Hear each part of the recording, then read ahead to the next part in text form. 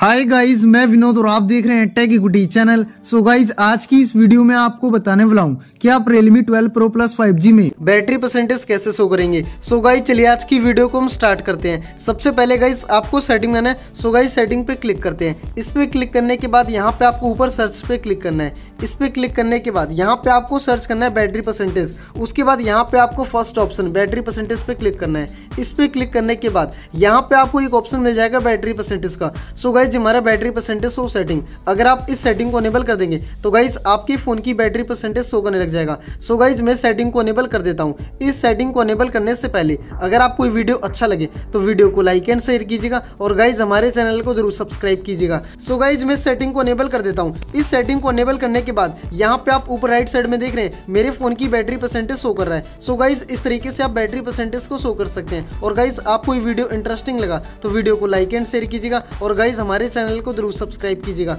तब तक के लिए bye bye tata thank you